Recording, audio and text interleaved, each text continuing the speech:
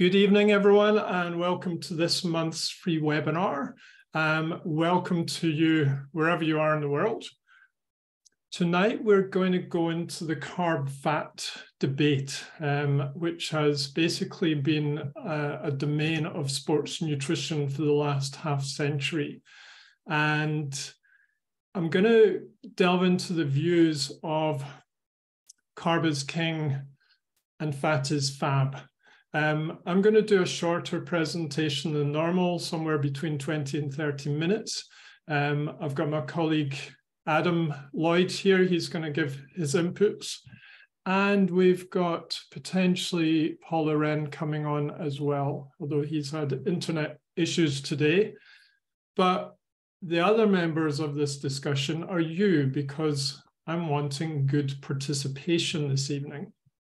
So let's get warmed up.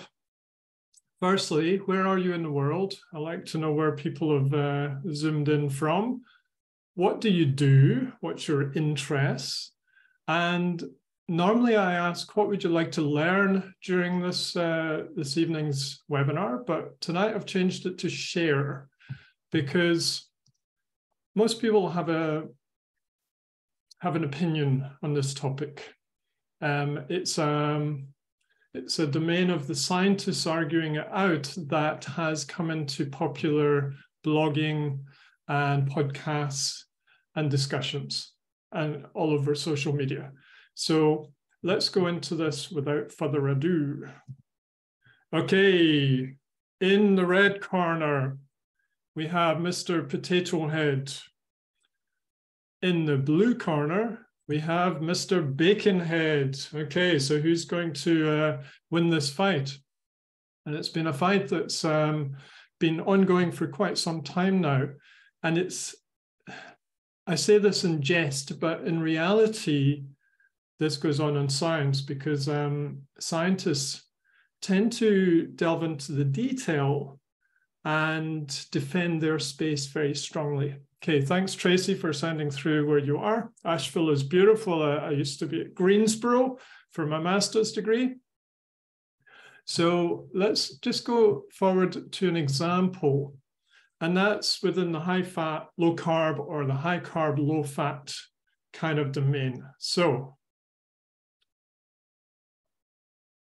here's an old mentor of mine. Uh, that's Tim Noakes at the University of Cape Town, who I used to know in person. And he used to be within the carb domain. Um, he would follow the standard sports nutrition practices. But in about 2013, he suddenly started personally trying fat, high fat diets because he was gaining, gaining weight. He actually ended up with diabetes. And he got much better control of his weight and his energy and so on. And then he basically um, shouted from the rooftops and what he said was that, oh, apologies, apologies, I've just uh, moved the meeting chat.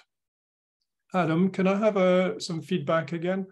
Um, on the display, yeah, are you seeing the meeting chat and the participants, or is it just the screen? Uh, at the moment, it's it's your slides. Just the slides. Okay, that's fine. Okay, it's just when I move a meeting chat window, then uh, the the uh, the slides collapse there. So I'll just try and see what's on my slides. So he said that um, carbs are basically making us all obese and it's linking to chronic diseases. That was 2015 that he released his bestseller book. Almost the same year, this guy, Colin Campbell, he re released the China study.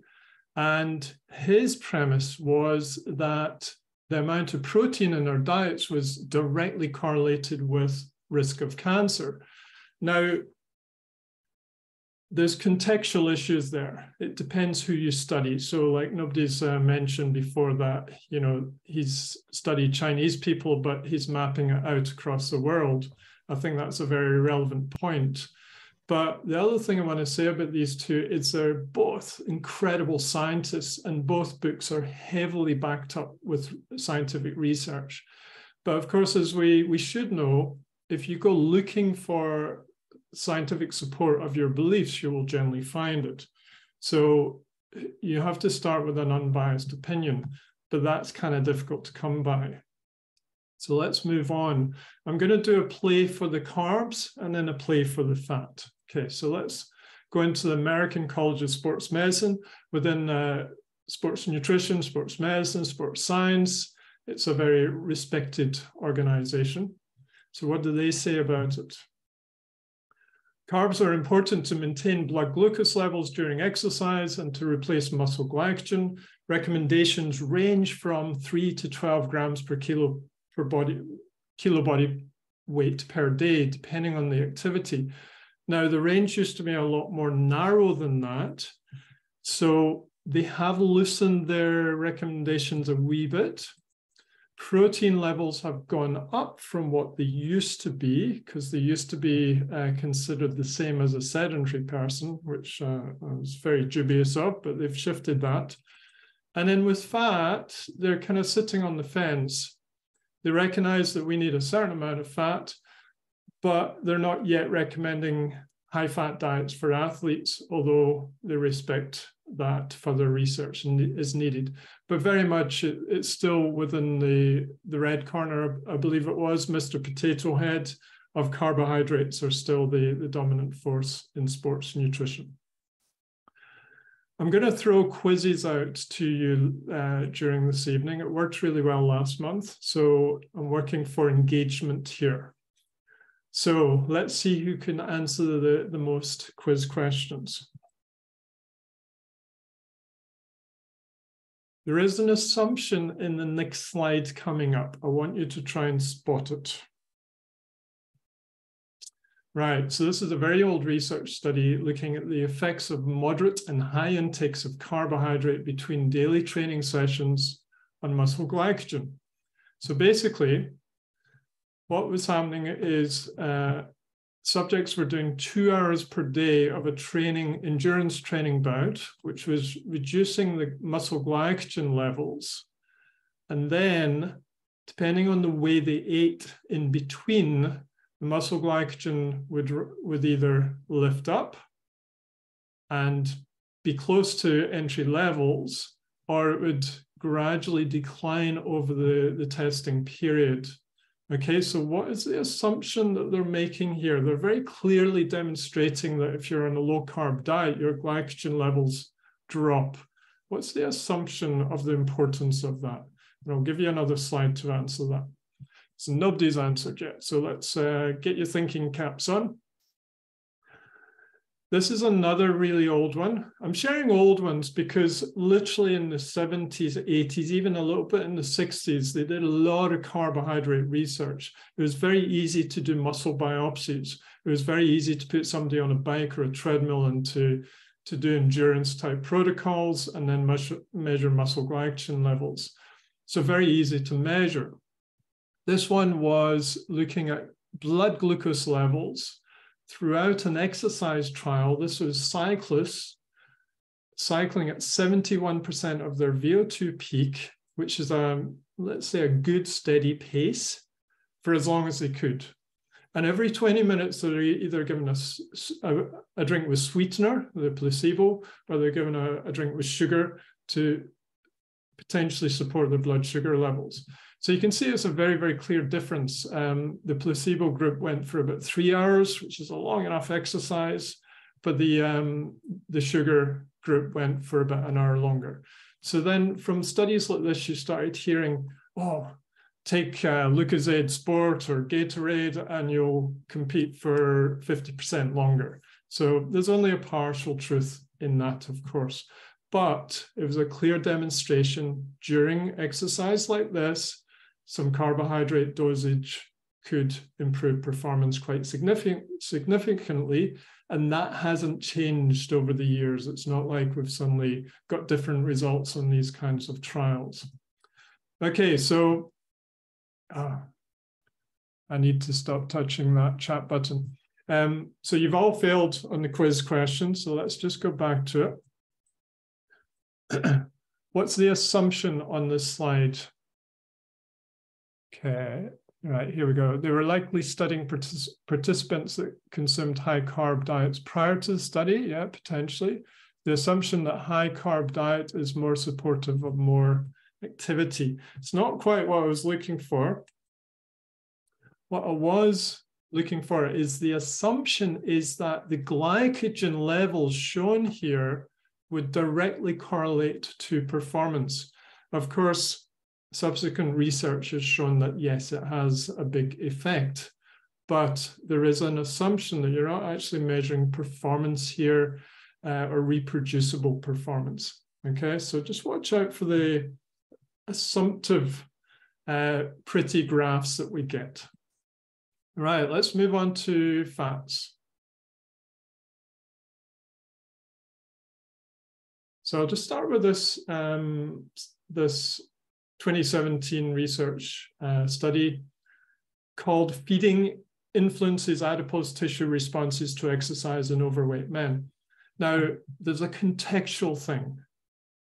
We often get studies like this that will be then mapped out to, let's say, athletic men or athletic women, or it's a male study mapped over to women or vice versa, non-athletic and athletic. So we need to think of who are the who are the subjects. What this research study found was that feeding before acute exercise affects post-exercise adipose tissue gene expression and we propose that feeding is likely to blunt long-term adipose tissue adaptation to regular exercise. In other words, if you were to take those carb slides that I've just been through, yes, it might help performance, but it's going to blunt your adipose tissue.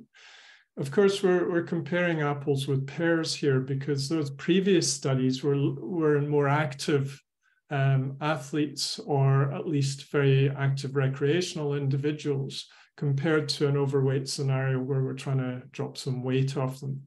So there's another sort of little research thing, little research tip. What's the context? Uh, who are the subjects? What are they trying to measure? Quiz number two. In the context of sports performance, there is a but in the next slide. Okay, so the next slide looks really good for fat, but what is the what is the but? So this is the study of Volek, who's uh, who's quite famous in the, the high carb um, literature. And basically what Volek did was he got subjects either doing a high carb standard sports diet. So if you look at like ACSM guidelines and the likes, it's generally sort of 60, sometimes even 70% of the diet coming from carbohydrates compared to a very specifically high fat diet, which was, was about 70% of the overall calories coming from fat, which is an enormous amount of fat that doesn't leave much space for carbs and protein in the diet. Okay, so a very big challenge there.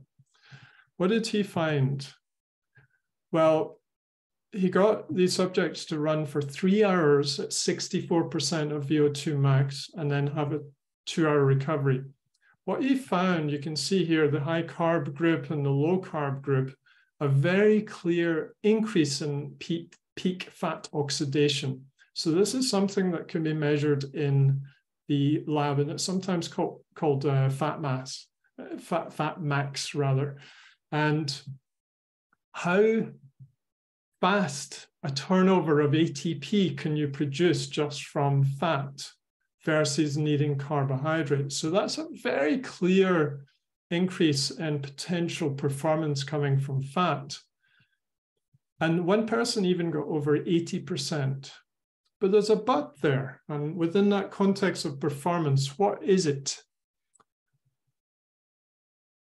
Here's another, another little view. So they're very clearly showing better fat oxidation there and worse carbohydrate oxidation. Okay, so what is that but? But not everyone responds this way. So, yes, you're right. So, some people, after that big fat adaptation period, they were still under 60%, whereas some people were well over 60% with the higher higher fat scenario.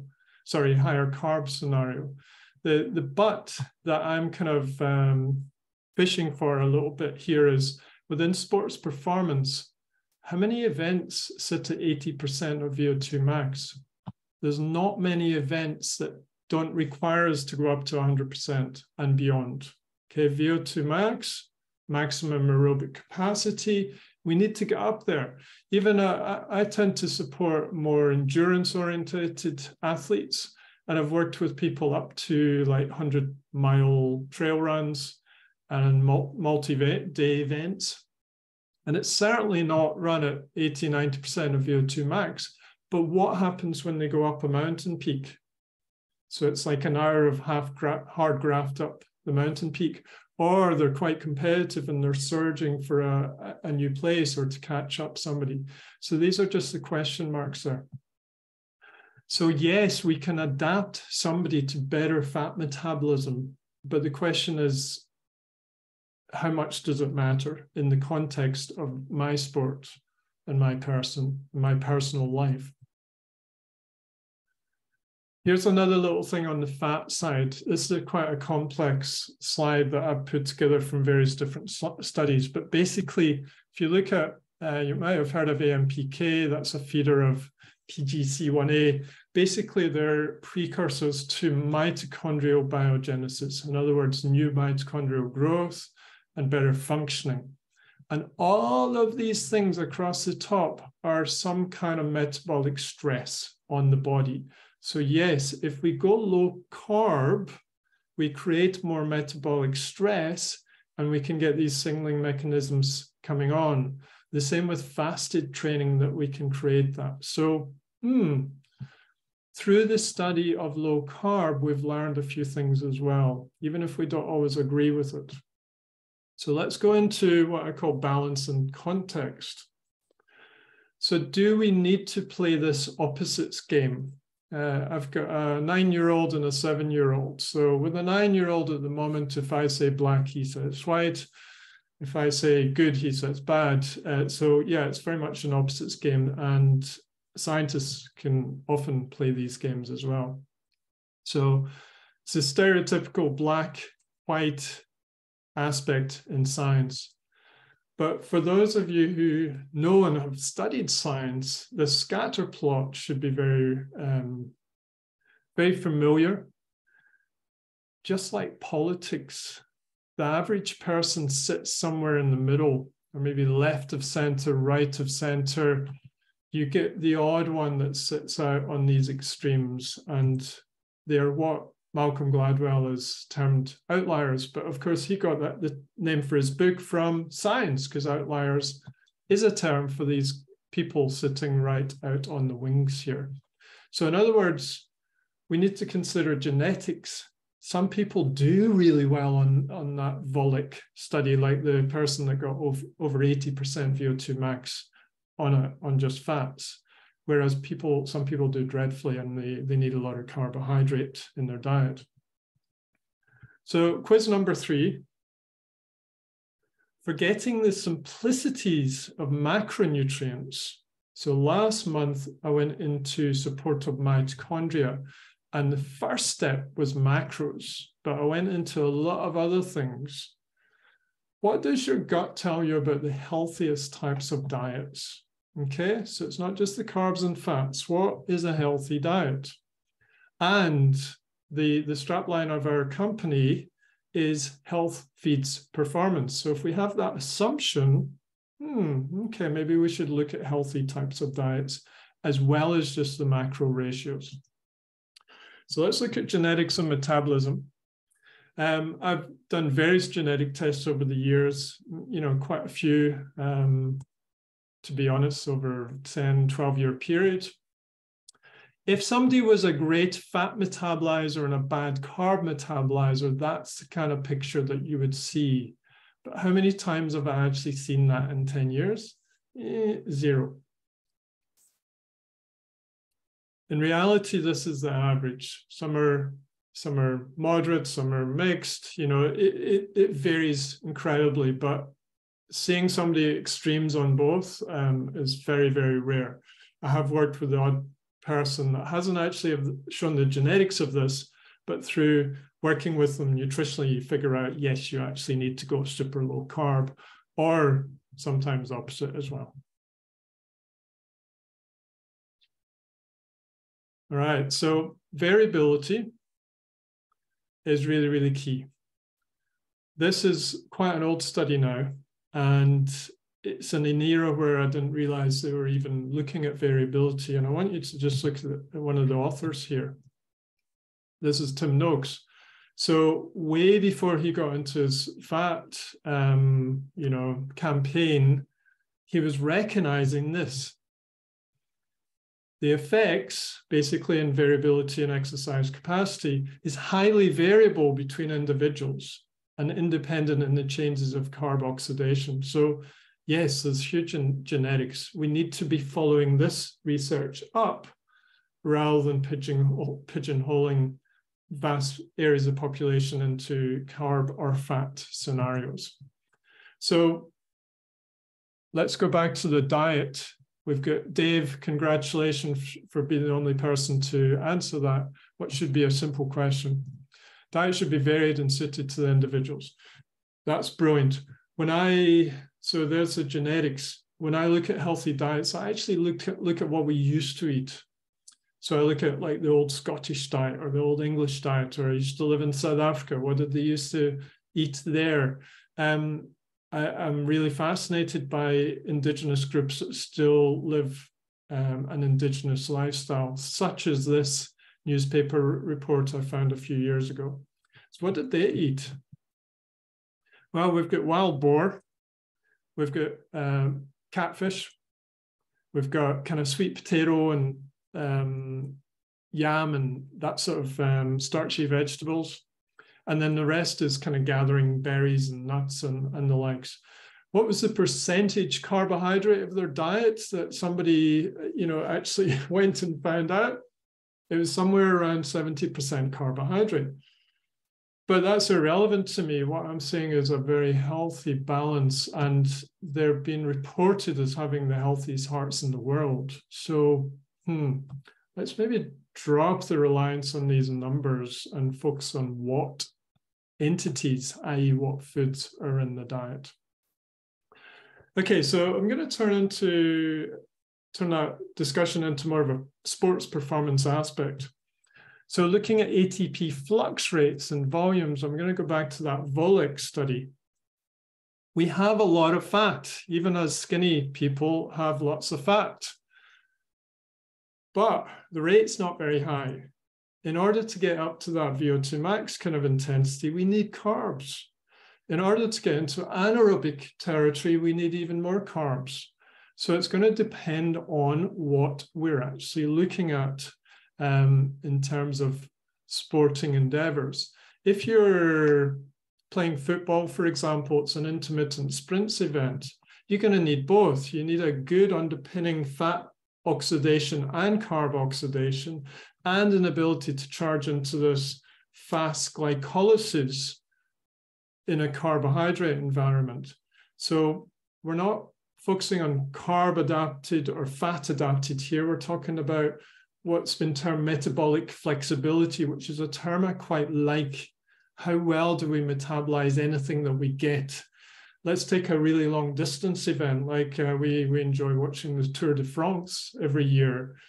And these guys are not on 70% fat diets, even though it's very long duration, and they won't often be getting up over 70% VO2 max. But when they need to, they need to. These guys eat anything that they can pretty much get down, digest, and metabolize. Trail running, 24 hour trail running, yes, I'd be more akin to doing a fat adaptation period, but I'd move on to what we're about to talk about next. And that is train low, compete high.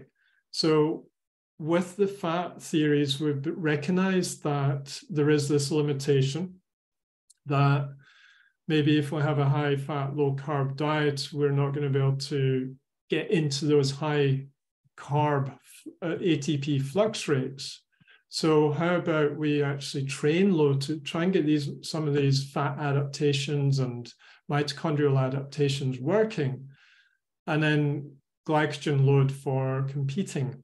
So that's one theory, and it's been around for a while. This paper by Baar and McGee in uh, 2008 is a really good balanced read if you want to go and have a look.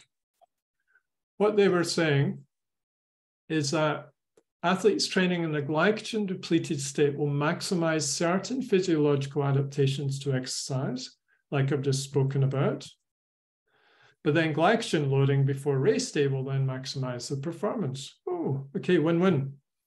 So let's have a little explore of that. So we're going to look at, well, how appropriate is it to train in a low carb state? Here's a, here's a sort of little backup of, yes, it is a good idea. And this study is showing that we can increase the activation of AMPK, which, if you remember, is a feeder of that um, mitochondrial biogenesis under conditions of low muscle glycogen, which will enhance, enhance GLUT4 expression in response to exercise in skeletal muscle. And that's great. GLUT4 is to do with uh, glucose uptake and use. So we we want to improve insulin sensitivity and use of glucose and so on. So this is a really good thing. And this is a kind of basis of a lot of research that's now looking at intermittent fasting and fasted training sessions and so on to try and improve insulin sensitivity. But if that is a positive thing, at the same time as improving insulin sensitivity, it will bring down things like inflammation. But, the, but it's a double edged sword, and let me explain that. The question from a research study like this is yes, it would be best to train in a glycogen depleted state. But there's always a there's always a but. And I could I do on our bigger course do a longer presentation on this and there's various things that we can look at but i'm going to choose one paper to share and that's by a guy that i respect funnily enough from the location of our first member who shared where she was from and that's asheville north carolina. So david nieman i saw him when i was in north carolina. He's a exercise immunologist been around for donkey's years. And he looked at inflammatory responses and stress hormone responses to heavy training bouts and how carbohydrate availability or not would influence that. So let's have a look at uh, what he found. So carbohydrate compared to placebo ingestion during cycling at, uh, I can't see, I think it's 60% of watt max attenuated the increase in plasma cortisol, epinephrine, or uh, we call it adrenaline in the UK, interleukin 6, interleukin 10, interleukin 1 RA. These are potentially pro inflammatory cytokines. When we exercise hard, we tend to go into a pro inflammatory state, which is good to a point because it helps adaptation. But if we overdo it, then we have too long a recovery period and then it stunts our progression. So again, another double-edged sword. So if you too often train in a low carb state or a fasted state, you're going to be stimulating these inflammatory responses too much. You're also going to be stimulating cortisol and stress hormones too much. Cortisol plays bat and ball with insulin cortisol on its own can really mess up blood sugar control and, and stimulate long term insulin resistance. So it's the opposite of what we've just said from the previous research, research study. So hopefully you, you understand what I mean by a double edged sword now. So when you have the the low carb availability camp, you always have to ask them, okay, well, what what's the downside of this? And if we're talking about having carbs until it's coming out of our ears, you have to say, well, what's the downside of that? So always question. All right, so within the elite space, within the performance space, I respect the work of uh, Sam Impey, who I brought along to a conference once in London. And he shared similar research around this. So basically, he took elite cyclists in a well-fed state versus a low-carb state, and this is what he he found. I'm, I'm shortcutting the study a little bit here, but basically, this the grey block here is the training period. Um, it was a hard training period and then a recovery period, and you can see a moderate improvement in AMPK activity in a low-carb state they added in leucine to try and improve the anabolic support because they knew that low carb could actually limit anabolic uh, activity. So that seems like a good thing. But here's the other side. This activity, which I'll go into now, basically what they were showing is this activity was stunted a little bit in the low carb state. And what does this mean? It essentially means mTOR signaling, which we understand is a signaling mechanism for muscular growth, for anabolic repair. It's a very important, got a very important job, plays a role in protein synthesis and in cell growth uh, control via enhanced translation of certain mRNA species. Okay, so a complex, complex uh, language there, but essentially low carb state meant potentially less anabolic adaptation after the exercise. Okay, and you can see that the higher carb scenario kicked into a recovery state much, much quicker. So the context is important and Sam Impey, James Morton, and that group at Liverpool John Moore University who work with these elite cyclists, they've got a good strategy. When cyclists are doing an easy day or a sort of easy training session, they might do it fasted. So low carb availability. If they're doing hard intervals or they're doing a more prolonged, higher intensity ride, they'll make sure they're well carb fed. Okay, so I think that's a good strategy. I'm just going to sort of finish here with my question. What about a moderate fat diet? So we've got those early research studies which are very carb dominant. We've got the more recent ones like Volek that's saying, well, fat is actually much better. But 70% of your diet coming from fat is an awful lot of fat. This one said that data from the present study suggests that higher levels of fat, up to 40%, so I don't know about you, but 40% fat in the diet to me is fairly moderate. I remember when I went into nutritional therapy from sports nutrition, sports nutrition was maybe talking about much lower fat and higher carbohydrate. We went in and we talked about blood sugar regulation and healthy food for the gut. And when I started going back to numbers again for a while, 40% fat was generally okay as long as it's good quality fat and a nice balance between your saturates and your unsaturates and your omega 3 and 6, etc. So that to me is a nice balance. So that, that can increase endurance running time without adverse effects on plasma cortisol and these inflammatory aspects of exercise. Hmm, the 70%, the high fat approach or lack of carbohydrates was showing adverse effect on stress hormones and inflammatory markers. So maybe a moderation would work. This is the only study I have found in the sporting realm looking at this. So we need a lot more investigation Right. So my conclusion of fats versus carbs is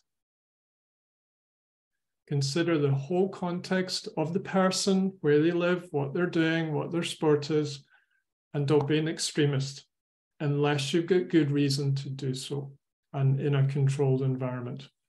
Okay, so I am going to unshare. I'm going to invite Adam on to share his views, and then we're going to open to the rest of you. Adam, are you there? Hi, Ian. Yeah, Hi, I'm here. Hi, good to see you. Good to see you. Um, so, have you got some uh, personal perspectives. I used to, uh, I forgot to use the word perspective earlier. That's something that I do, I try to do, get that bird's eye view of a topic. So I'm interested in other people's perspectives. So, Adam, what do you think? Yeah, oh, great. Well, I thought it was really interesting, and and um, it's great to get the, the context and the background of where these um, the, the things that we see in books and where they've come from and and uh, and all of that. And I'll be really interested to hear what everyone else has to say as well. And um, I think that uh, if I if I take it from a um, the perspective of going, so I, I, work in a football club in uh, in League One in the in the um, English Football League, and um, I had I sort of finished my um, studying and went in with lots of grand ideas about how we might be able to get these players to perform better. And I think you know uh, what you've just finished with is was kind of presented with me right away was that you you you're faced with an individual, you're faced with with um, amounts of either fat or carb, depending on where we're going to go, and you have to turn that into a reality for that person that stood in front of you. Um, and before you can even do that, you've got to try to understand where this where this person is at. And um, what I found was that um, most of the time, the, the, the football players that I was working with thought that they had a very good understanding of what the role of, of carbohydrates and fats and protein was in the body. And yet, when you dug a little bit deeper, um, their their understanding was um, was not quite right or was slightly, you know, skewed. And and so we, we end up what, what what I sort of thought of whilst you were talking Ian was that you you you get um it depends when you whether you're thinking from a sports nutrition perspective or whether you're thinking from a general nutrition perspective. And these a lot of these players were coming from a general nutrition perspective uh, and I'll give some examples about that uh, what I mean by that in a minute. And they they didn't understand what the what was happening in the body and what they needed to, to fuel performance. What they understood was perhaps what um, john next door had read in the daily mail or you know something like that that, that passes very quickly and that gets into the mainstream very quickly. Um, and so you know you would have uh, you would have people taking protein shakes before playing because it gives you energy um, and that sort of uh, misconception of what that, the role of that macronutrient is and and they're not to to blame for this either because i've since you know picked up many a protein drink that has you know energy all over the, the marketing of that drink you know? And uh, and so players going into it w- wondering why you know 20 minutes from the end of the game they did they know they should have a little bit more but they haven't quite got it and they're, and they're wondering why you know? Um, and so the, the, one of the examples I, would give about this was was a player. This is this is going back a few years now, but um, was a player who came from a household of um, of type two diabetics. So his mother and father were both uh, type two diabetics, and he had a, a, very set view about the role of carbohydrates. And it was a it was a uh, it was a situation where he was he was very limiting, you know, very uh, restricted in his in his intake of carbohydrates. And yet, when we spoke to him about what he thought his performance challenges were, it was all about energy. And it was all about how do I get that last bit out of it? I, I just feel like that they're going a bit quicker than I. And, you know, on the face of it, it seems um, so obvious. But actually, it was really, it was quite a challenge because um, the, the, the ideas of, of carbs are bad and carbs make you fat. And, uh, you know, I couldn't possibly eat that for breakfast, knowing that I had to play later on. And so it's a really long process to try to, to talk, to, to strip it back and actually really talk about the physiology, what's going on in the body. And, and often um, time is precious in, in, you know, in sporting environments, you know, you don't get that time. So you, you have to try to build trust really quickly and get some quick messages across. Um, so, and I'd also like to just give another example, which is that was perhaps more on the carbohydrate side of trying to convince somebody that, you know, we need to do something different to what your parents are doing because your activity is different to what your parents are doing. I had a, a another player who, who, um, who had to try to keep secret from the club that he was struggling with, with an IBD, uh, inflammatory bowel disease. And it was a condition that was really, really, um, all consuming for him and uh, high stress. Um, and and yet this this particular individual was um, perhaps doing all the things around simple carbohydrates just before playing, and it was wreaking havoc on his system. And uh, but of course he couldn't tell anybody because in those type of environments, high performance environments, you do not want to tell anybody that you cannot perform. Uh, and so he he had to hide it and had to hide it, and it was a again an, another example of we had to look at different ways to fuel that individual. And and again, we go back to the individual of it. When we looked at how those two players played, they played very differently. They were, you know, and almost again, because I'm into nutrition and I love nutrition, it was, you could almost see that the way in which they, how much they uh, liked a certain type of food or, or avoided a certain type of food played out in how they were as a football player. One was quick down the wing, the other one liked to sit and hold, you know, and it was really, really fascinating. Um, and then, and then, the, the, so the other perspective I would I would also add to this, and I think everybody on on the call would probably know this already, uh, and would be saying this if I wasn't saying it myself. But you know, when we when we've got these players and we want them to perform for ninety minutes on a Saturday, um, the rest of the minutes in their week are often ignored. You have to perform at three o'clock, and we need you to perform from three o'clock until about five o'clock, right? And and everything goes into that. Well, we had a um, we had a player who was um, so so the example is what they do outside of those 90 minutes is extremely important and and if they've got high stress in their personal life then um, the fat carb debate kind of you know how we're fueling that individual. He he he had a huge amount of stress going on outside of the football club. Um, whatever we would have done if we'd have gone 70% fat in the diet if we'd have gone uh, 70% carbohydrates in the diet he just couldn't turn over. He couldn't turn over until this until these personal issues were resolved. And then when they were resolved he came back. And i think that again we, we have this this other factor here, which is our mind and our ability and our ability to apply ourselves to to what's being uh, being asked of us. Which again, I think when we go into a lab and we and we test these things out, one of the assumptions within that is that you know you you know you're going to to sit on a bike, you know you're going to pedal, so you're you're okay with that, you know. And so it tells us it tells us some interesting things um, but it doesn't you know it doesn't necessarily or it's not all encompassing you know the ideas are not all encompassing um, and then uh, uh, my, my final point here and i'm not um, uh, yeah hopefully not going on too long but the final point was was um, I find that that you talked about Sam Impey's work, and uh, some of that stuff is is fascinating, and is certainly certainly filtering down the pyramid um, in terms of nutritional practice. Um, one of the challenges I've, I've faced with that is that very rarely does a does an S&C coach um, very rarely would they sanction a training session where those players weren't going to be optimally ready to perform. You know so so if i say to them i i think we should trial something like this but it may mean that we see a drop off in performance for this session in some of them but the longer term will be beneficial we are i'm not going to get that i'm not going to get that sanctioned you know because uh, they you know rightly so that would compromise their job.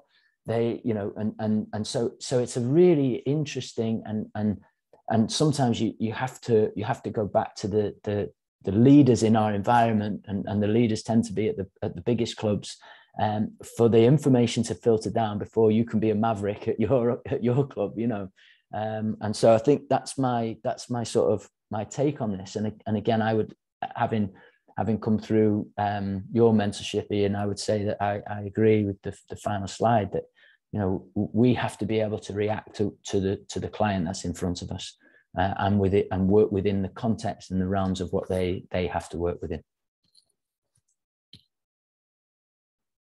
Brilliant. Thanks for your your input there, Adam. Um, I mentioned Paulie. I think he's still got internet issues because he's not on with us. So we're just going to hop to a quick ad break, folks, and then uh, we're going to open up to everyone. Okay, so just uh, I want to share what's coming up. So starting in October, we've just been running our short course, and I know some of you online are doing that at the moment.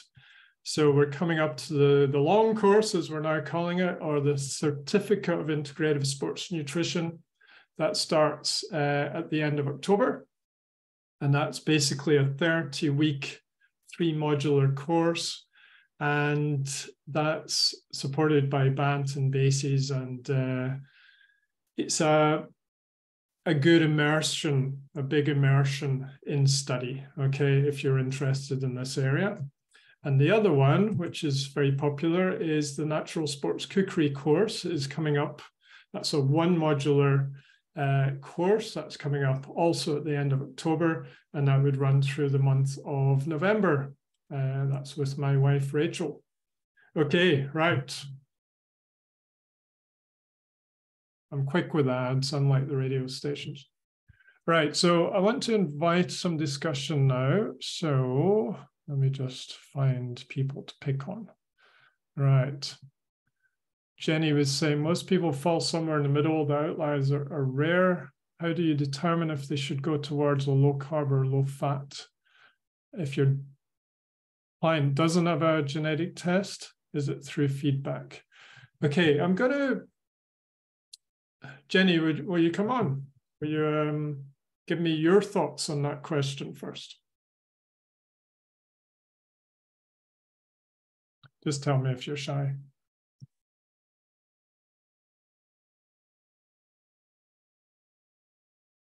Hi there, Jenny. Just unmute yourself.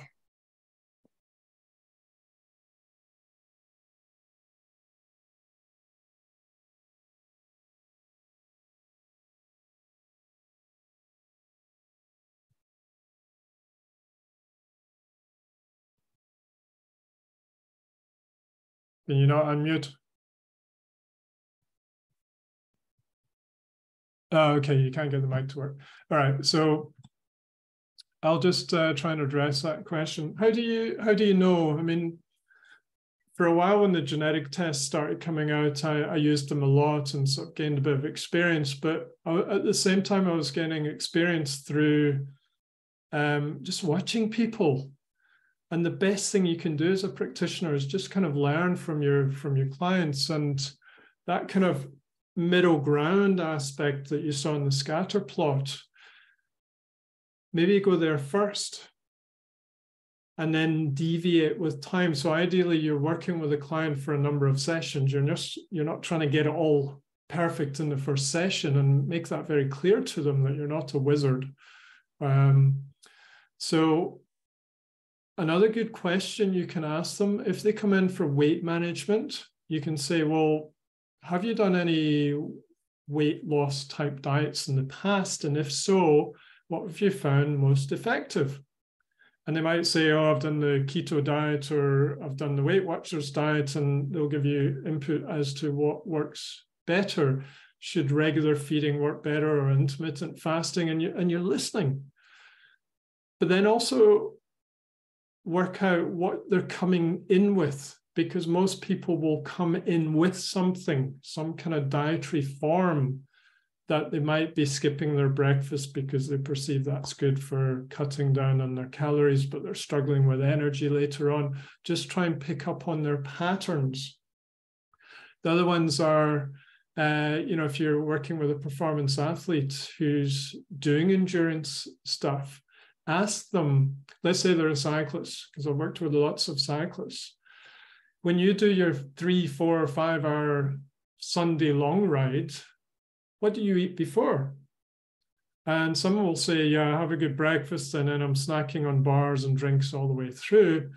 Others will say, I have a cup of cup of coffee, and that kind of does me carries me through, and then we stop for um, breakfast at the end of it or brunch or something and I'll start with a coffee and then maybe have some bacon and eggs. And that tells you straight away that their body's not shouting at them for the carbs. Whereas other people, you know, as soon as they get into that coffee shop, they're drinking fruit juice or some sweet drink. So the body, tuning into the body, ask them to do that and, and you listen very, very carefully. Um, okay, let me know if that answers your question, Jenny. Emma's saying, uh, I'd question any genetic test that make such a simplistic and extreme statement as indicating very high carbs or very high fats, just based on genetics without any consideration of lifestyle, activity, etc. Okay, so Emma Emma has her own genetic company and absolutely 100% agree.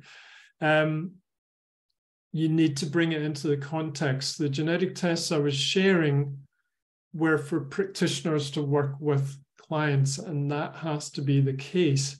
But I did know of occasions where the genetic test would come straight to consumer, and then they're they're just looking at the algorithm, the pretty pretty graphs on it because they can't understand the language.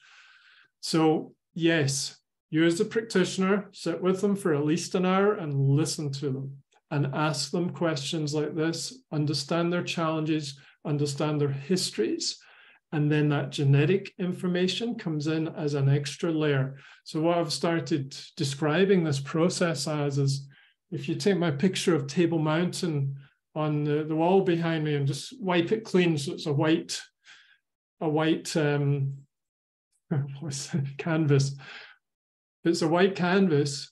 As you're taking a history, you're you're doing some brush strokes. You're creating a rudimentary picture of your client as you gain experience through one, two, three, four sessions with them, they're giving feedback, you're gaining a few more brushstrokes um, of detail.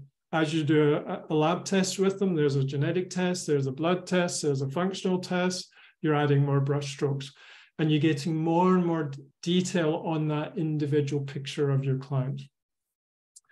Okay, so I hope that uh, response to that okay, Emma? Just let me know if you'd like to come on and, and share some more. Um, okay, so Andrew, Andrew sent me a direct message, so the rest of you want to see it. Um, would a targeted ketogenic diet consuming smaller amounts of carbs during exercise without throwing one off ketosis have any performance benefits versus other high fat, low carb diets particularly for resistance training, and whether the carb load would be more beneficial before, during, or after exercise. Okay, so you'd have to explain to me versus what kind of other um, low carb diets. The, the thing we get is a marketed diet. So the keto diet is a thing, or the paleo diet is a thing, or Banting, which was Tim Noakes's approach, is a thing. But when you actually go into it, every person uh, does that differently, and every person has a different metabolic makeup. So, in terms of getting into ketosis, somebody like myself would really struggle because I, I am very much a high metabolism, guzzle carb kind of person. So, potentially take me quite a long time to get into that fat adapted state where my ketone levels would go up. Whereas other people, you know, many clients that I've worked with will go in quite easily. So that's a starting point. Alex Ferretti lectures on this in our course. So I was hoping to get him on tonight to comment as well, but unfortunately he's away lecturing. So basically, if you if you want to be in a ketosis state, if you're well enough fat adapted, you've been doing it long enough, and your body's stable at that, yes, you can throw in some carbohydrates to support those exercise sessions without long term being thrown off ketosis. You probably are short term. So, yeah, that's quite a good scenario. But Alex will be the first to tell you he won't work with somebody on a ketogenic diet unless they have at least six months to prepare before whatever the competitive thing they are working towards. So that shows you how serious you need to kind of get in terms of the adaptation. My approach on the ketosis is that naturally we should be going in and out of it all the time.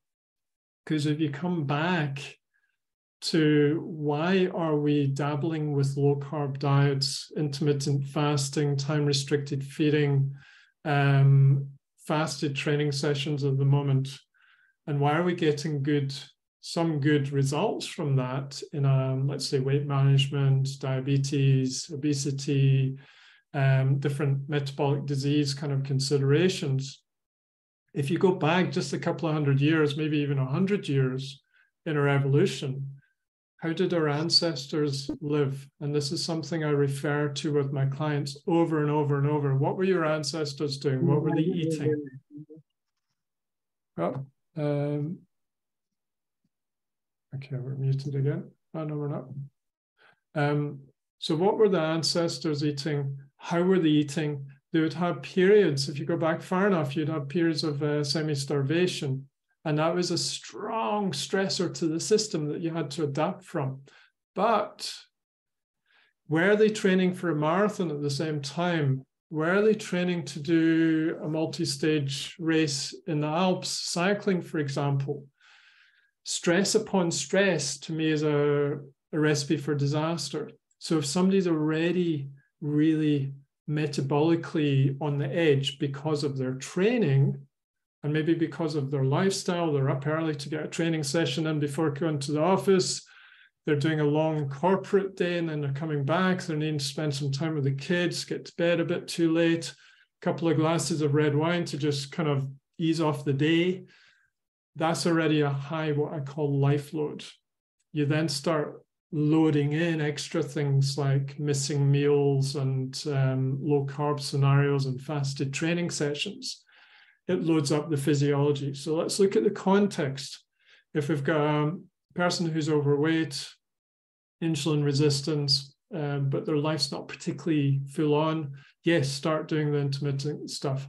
If you've got an athlete who, let's say, they're more metabolically inclined to burning higher ebb carbohydrates really well, and you stick them into a low carb environment for a long period of time, it can be a stressor to them. Some people will adapt well, some will not.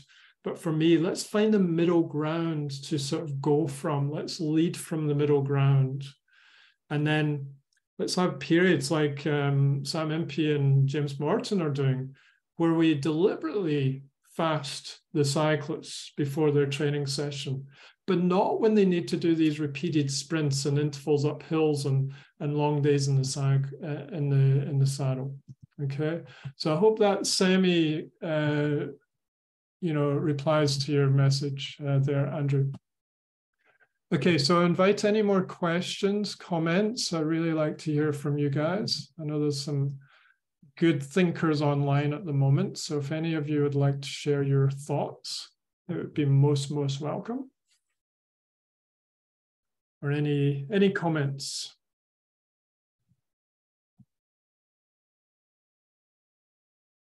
Uh, Emma's saying, I like the principle of metabolic flexibility. So yeah, adaptive.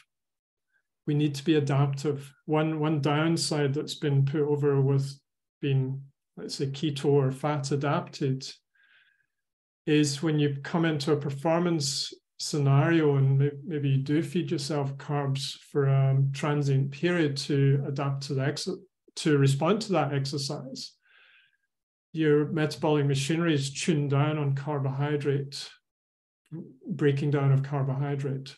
So let's mix up the diet. Let's change it.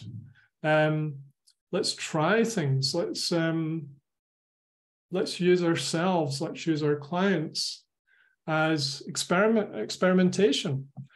Um, I think that ultimately we we're in this life to learn about ourselves. It's one of our one of our jobs.